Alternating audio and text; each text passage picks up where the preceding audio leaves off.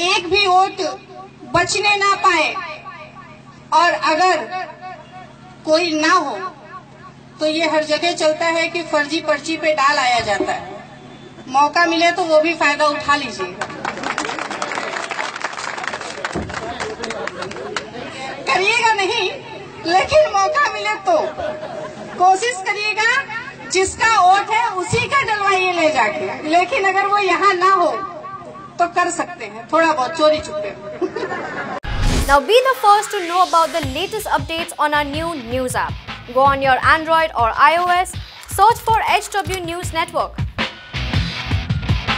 Download our app, choose the language you prefer to get updates in, and be up to date with the latest news.